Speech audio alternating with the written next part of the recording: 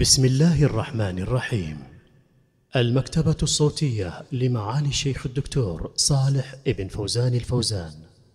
أضواء من فتاوى شيخ الإسلام ابن تيمية في العقيدة للشيخ صالح بن فوزان الفوزان حفظه الله. الدرس الحادي والثمانون بعد المئة الثانية. الحمد لله وله الشكر والثناء الحسن. الصلاة والسلام على نبينا محمد وعلى آله وصحبه وبعد. يقول الشيخ رحمه الله والعبد في المقدور له حالان حال قبل القدر وحال بعده. فعليه قبل القدر أن يستعين بالله ويتوكل عليه ويدعوه. فإذا قدر المقدور بغير فعله فعليه أن يصبر عليه ويرضى به. وإن كان بفعله وهو نعمة حمد الله على ذلك. وإن كان ذنبا استغفر إليه من ذلك. وله في المأمور حالان.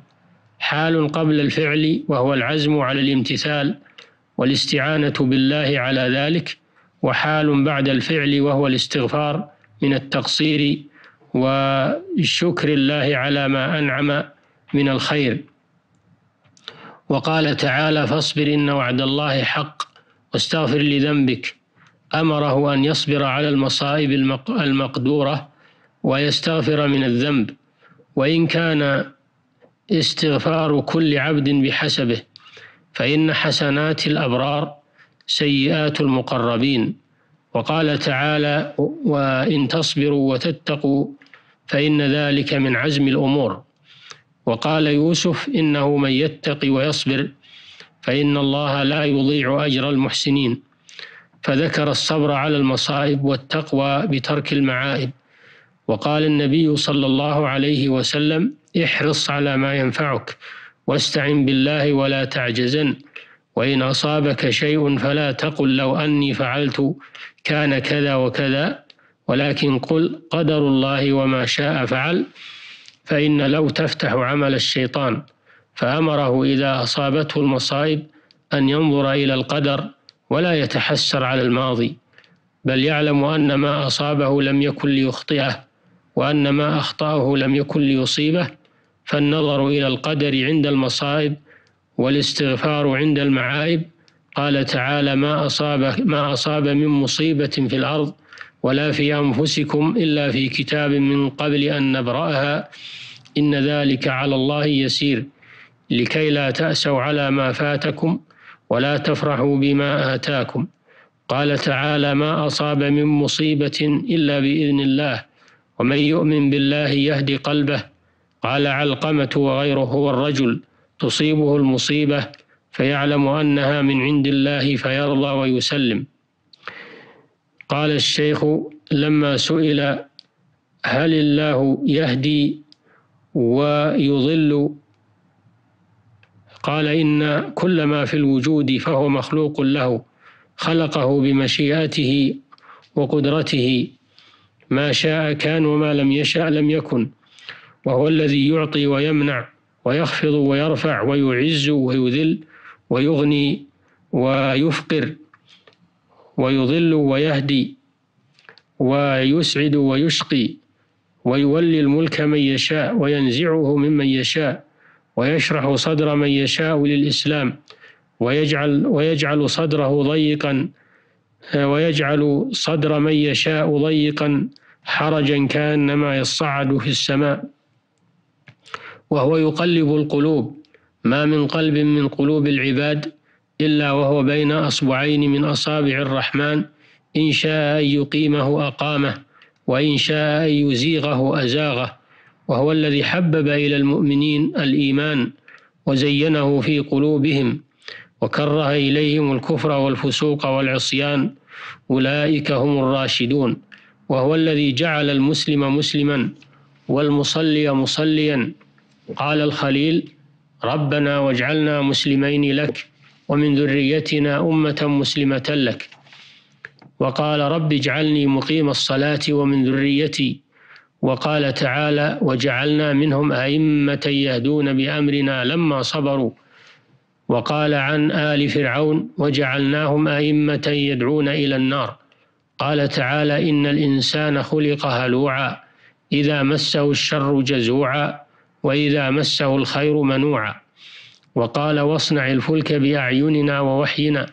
وقال ويصنع الفلك والفلك مصنوعة لبني آدم. قد أخبر الله تبارك وتعالى أن أنه خلقها بقوله وخلقنا لهم من مثله ما يركبون. وقال والله جعل لكم من بيوتكم سكنا وجعل لكم من جلود الأنعام بيوتا تستخفونها يوم ضعنكم ويوم إقامتكم ومن أصوافها وأوبارها الآيات. وهذه كلها مصنوعة لبني آدم. وقال تعالى أتعبدون ما تنحتون؟ والله خلقكم وما تعملون. فما بمعنى الذي؟ ومن جعلها مصدرية فقد غلط. لكن إذا خلق المنحوت كما خلق المصنوع والملبوس والمبني دل على أنه خالق دل على أنه خالق خالق كل شيء. ودل على أنه خالق كل صانع وصنعته. قال تعالى من يهدي الله فهو المهتدي ومن يضلل فلن تجد له وليا مرشدا.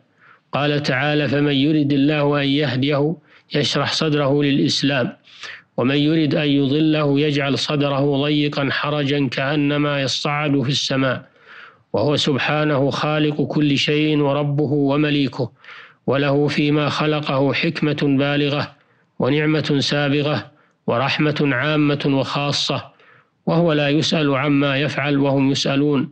لا لمجرد قدرته وقهره بل لكمال علمه وقدرته ورحمته وحكمته. فإنه سبحانه أحكم الحاكمين وأرحم الراحمين وهو أرحم بعباده من الوالدة بولدها. وقد أحسن كل شيء خلقه. قال تعالى وترى الجبال تحسبها جامدة وهي تمر مر السحاب. صنع الله الذي أتقن كل شيء قد خلق الأشياء بأسباب كما قال تعالى وما أنزل الله من السماء من ماء فأحيا به الأرض بعد موتها. قال تعالى فأنزلنا, بها فأنزلنا به الماء فأخرجنا به من كل الثمرات. وقال تعالى يهدي به الله من اتبع رضوانه سبل السلام. انتهى كلامه رحمه الله. وقد بين بالأدلة أن الله يضل من يشاء ويهدي من يشاء وهو أعلم بمن يستحق الهداية ومن يستحق الإضلال وهو الحكيم الذي يضع الأمور في مواضعها وجعل للهداية أسبابا وللضلالة أسبابا. فإذا فعل العبد هذه الأسباب فإن الله سبحانه يرتب عليها مسبباتها يرتب عليها مسبباتها إذا شاء حسب حكمته وعلمه ورحمته. فالذي على العبد فعل أسباب الخير وتجنب أسباب الشر مع التوكل على الله سبحانه وتفويض الأمور إليه. وبهذا تنتهي هذه الحلقة فإلى الحلقة القادمة بإذن الله. السلام عليكم ورحمة الله وبركاته.